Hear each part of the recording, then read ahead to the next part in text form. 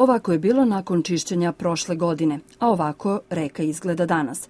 Potrošeno je oko 4 miliona dinara, održano nekoliko edukativnih radionica, ali to izgleda nije bilo dovoljno da se promeni svest.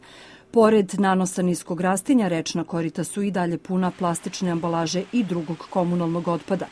Gradske reke smatraju se rekama drugog reda te samim tim su u nadležnosti lokalne samouprave, a ona je odlučna da i ove godine nastavi sa čišćenjem rečnih korita. Sledeće nedelje počinju radovi, a izvodit će ih javno komunalno preduzeće Komrad.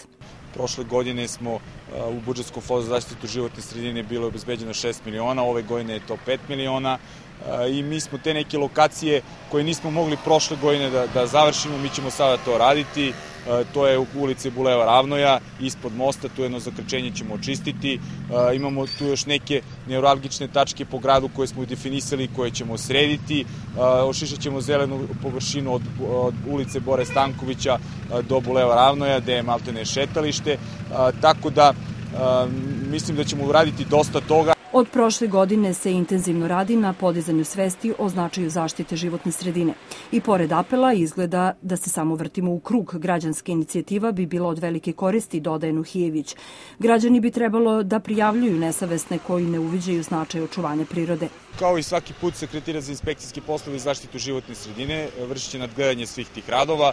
Tu je naravno i sekretirat komunalne policije, tako da su to dva sekretarijata kojima građani uvek mogu da se obrate, da dojave koji su to nestavesni građani. Ja ovim putem i apelujem na sve građane, jednostavno to je jedini način da mi tu našu svest o očuvanju životne sredine podignemo na jedan viši nivo. Planira se da akcija čišćenja rečnih korita počne kraje meseca. U toku je i održavanje edukativnih radionica. Kao zemlja koja pretenduje da postane članica Evropske unije, u budućnosti ćemo morati da naučimo da poštujemo životnu sredinu i sve ono što nam je priroda darivala. U suprotnom, kada budu otvorena pregovaračka poglavlja koja se odnose na zaštitu životne sredine, neće biti puno prostora za tolerisanje ružnih navika. Hajde da uložimo maksimalan napor i da ovakve slike pretvorimo u prelepe zelene površine u kojima ćemo svi zajedno uživati.